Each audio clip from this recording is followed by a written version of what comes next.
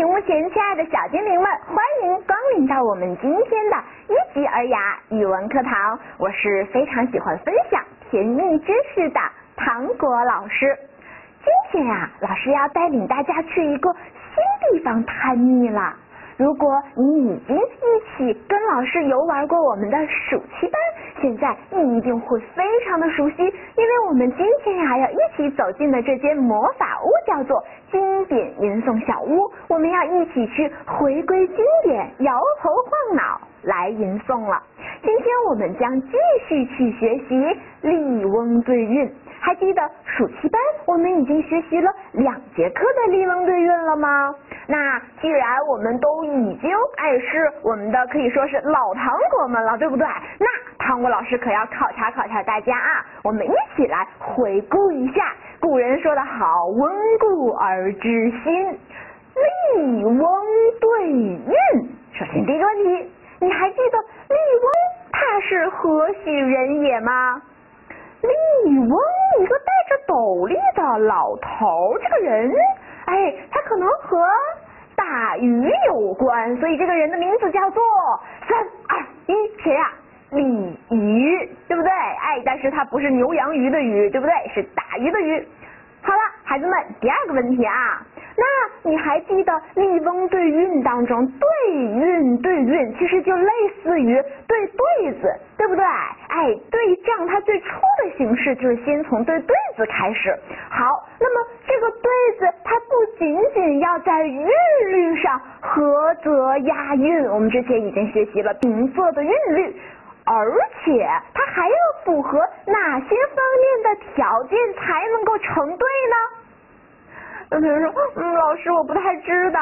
哎呀，我们回忆一下啊，正好没有听过的同学，老师来总结一下。那在这里，首先，哎，比如说天对地，对吧？哎，还有呢，大陆对长空，是吧？好，首先天地都是一个字，大陆长空都两个字。首先我们要知道，它要字数相同。那其次呢？哎，这些这些对子呀，他们要。内容相关，什么叫内容相关呀？可能呃是同义词，可能是反义词，可能是近义词。总之，我们不能把两个毫不相关、风马牛不相及的两个词语对到一起去，是吧？好，那最后呢，我们要保证词性相同，动词对动词，名词对名词。好啦，那么我们刚才回顾了这么多，有的宝贝说，糖果老师啊，我早就着急了。今天我们又将去学习笠翁对韵当中的哪一个板块呢？大家就会发现呀，咱们全年的尔雅课堂呢，一共安排了四讲的笠翁对韵。那笠翁对韵这一本书啊，它里面有那么多的内容，我们由于时间关系，糖果老师不能一个字一个字的去给大家进行讲解，对吧？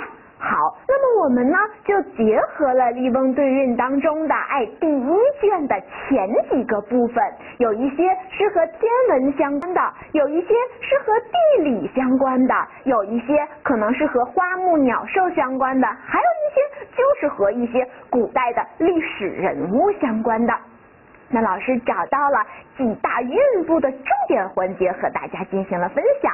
在暑期班的学习当中啊，我们已经学习了一。的部分了，对吧？两节课学习了一冬，那么我们今天这节课呀，要学习接下来的内容了，叫做二冬。哎，这两个冬是不一样的，一冬是东西南北的冬，二冬是冬天的冬。有同学说，老老师，那是不是就是说，今天我们要学习的这一部分都和冬天相关呀？哎，大家要记住这个意思，在这里面呀，这个冬它主要指代的是它的韵部，对不对？什么叫韵部啊？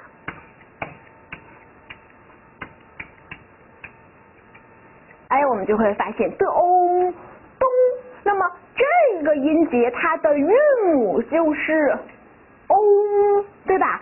所以就是说，我们接下来要学习的这一个部分，它压的就是哦这个音，对吧？那我们一起来看一看吧。学习笠翁对韵，我们首先要张开自己的嘴巴，和糖果老师一起去读一读。屏幕前一年级的宝贝儿啊，我们可以暂停视频，在爸爸妈妈的引导下，我们先自己预习一遍。二三年级的同学呢，可以结合自己对拼音的掌握，跟着唐国老师一起来读一读。好，首先我们来读这读第一个部分，咱们今天来分着一边读，老师一边给大家讲故事啊。第一个部分，晨对午，夏对冬，夏响对高冲。不是夏赏对高春啊，来再来一遍，夏响对高冲。好，青春对白昼，古柏对苍松。好了吗，孩子们？我们再来读一遍，好不好？哎，咱们来书读百遍，其义自现。但是咱们不读一百遍，我们就读三遍。然后你感受每一遍你读的时候，自己有没有不同的体会啊？再来一遍，晨对午，一二，晨对午，夏对冬，夏响对高冲，青春对白昼，古柏对苍松。好，再来一遍，跟住啊，跟住，老师稍微慢点，三二一，发出声音，声音要洪亮啊！来，晨对午，夏对冬，夏响对高冲，青春对白昼，古柏对苍松。好，孩子们，那么，哎，老师为什么说我们在去学习，特别是像《笠翁对韵》呀、《声律启蒙》啊，像这样的一些经典读物的时候，其实有许多时候我们发声朗读，要比我去一个一个的抠它是什么意思更加重要。孩子们，为什么说在古代的时候，小朋友们先是摇头晃脑，因为我要通过，哎，对。文字的朗读对声音的记忆，让我去感觉它的韵部和韵律，对吧？我们来看一下，哎，夏对冬嗡，对吧？然后夏响对高冲嗡，青春对白昼，古柏对苍松，押的都是嗡这个韵，对不对？哎，这是它的一个特点。首先在韵律上合则押韵。哎，那么你们知道吗？其实，在古代的时候，一开始呀，这些文字它都是带声调的。像我们今天说的吟诵，吟诵，其实它是哎从读对吧？哎到吟到诵，它是。整个有一个进阶过程的，那今天呢，哎，我们就把这些声调省去了，但是我们在读的时候依然可以像唱歌一样。那接下来，糖果老师呢就带着大家一边理解，我们一边去感受，看看谁最后读的最流利、最好听，好吧？来，晨对午，夏对冬，这个就很好理解了。早晨的时候，它和中午相对了；夏天的时候和冬现象对了，对不对？那夏夏和冬，它又是一组什么词？孩子们，哎，夏天冬天一组反义词，对不对？OK，好了，晨对午那都是时间，对吧？好。夏想对高冲，有同学说，嗯，老师就这个我不是特别理解，前面一个字一个字相对的我都理解，对吧？好，什么叫夏想呀？夏想呢就是下午的意思，对吧？哎，下响就是下午的意思。那高冲呢指的就是傍晚时分了。哎，下午对什么呀？傍晚，早晨对午后，对不对？又可以说中午。好，孩子们，那么这个。响，你就会发现它是一个是，让我们来一起看一下这个字啊，它是一个什么偏旁呀？有人说，嗯，十字旁，那和什么有关？孩子们，它是一个形声字，对不对？它它和什么有关？十字旁的应该是和吃东西和食物有关。你们知道吗？在以前的时候，一般都会有什么军饷，其实就是什么呀？哎，给给这些士兵们的一些粮食。所以说呢，它又有粮食的意思，对吧？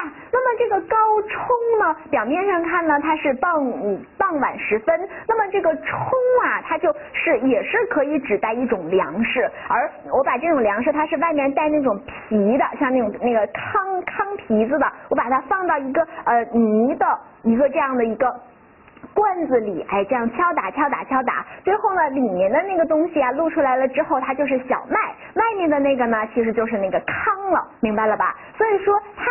下对高，下对高都是什么呀？哎，一类方向的，对吧？那响对冲，这又都是和粮食相关的，所以这种对对子的方式叫做同类相对，对吧？好了，孩子们，那就这两句话读一下啊：晨对午，夏对冬，夏响对高冲，对吧？好了，孩子们再来看接下来的这一部分啊，他说青春对白昼，古柏对苍松。有同学说青春怎么能和白天相对呢？这青春岁月是吧？在这里青指的就是一种颜色，是什么颜色？回答我。哎呦，同学没出声音啊！青指的是什么颜色？青色呗，对不对？肯定不能是红色，是吧？好，青春，那春指的是什么季节呀？孩子们，春天，就是青色的春天。让我们用一种颜色去形容春天的话，那鲤鱼它就用青色，对吧？好，那青对白，春对昼，这时候我们就会发现它能对上了，对不对？